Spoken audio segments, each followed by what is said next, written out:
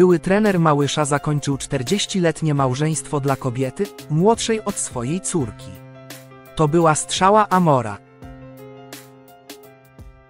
Apoloniusz Steiner dla młodszej od siebie o 36 lat Izabeli postanowił zakończyć swoje trwające od czterech dekad małżeństwo.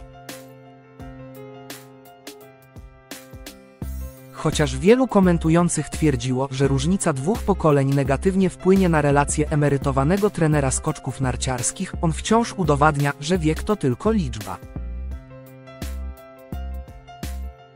Apoloniusz Steiner odmłodniał u boku wybranki. Apoloniusz Steiner swoim związkiem z młodszą od siebie niemal aż o cztery dekady Izabelą wywołał w polskich mediach prawdziwą sensację. Opinia publiczna nie mogła przejść obojętnie nie tylko obok tego, że zakochanych dzieli 36 lat, a partnerka byłego trenera Adama Małysza jest młodsza od córki szkoleniowca, wielkie kontrowersje wzbudził fakt.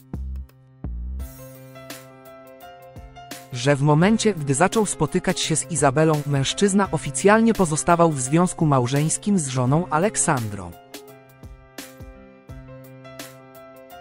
To właśnie z nią doczekał się dwójki dzieci, skoczka narciarskiego Tomisława i celebrytki Dominiki, dla której przepustką do sławy i świata show biznesu okazało się małżeństwo z liderem ich troje, Michałem Wiśniewskim. Tak Apoloniusz Steiner poznał swoją przyszłą partnerkę.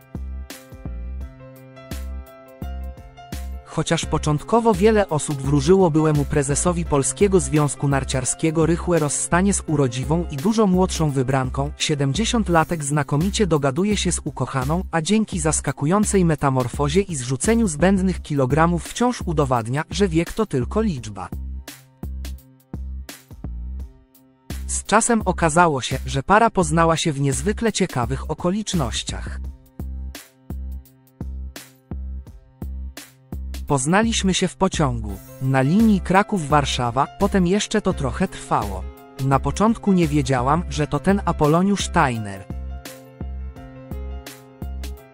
Wsiadł do mojego przedziału, ale ja go nie poznałam, więc mój okrzyk był to pan?